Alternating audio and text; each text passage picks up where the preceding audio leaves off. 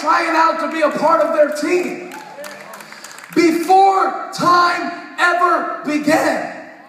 Not from a, a red chair, but from a throne in heaven.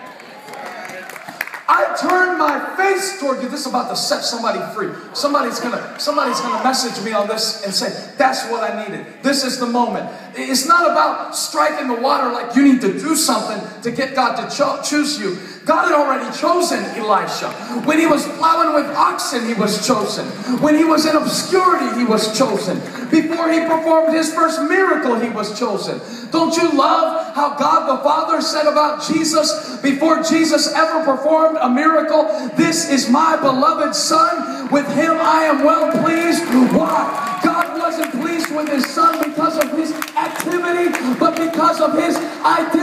This is my boy. I'm pleased with him. I called him. I chose him. I want him. Before time began, before he ever even knew his name, before she ever even had a church staff position, I chose her. I wanted her. I called her. I gifted her. I graced her. I positioned her. I set her up and I sent her out to do great things.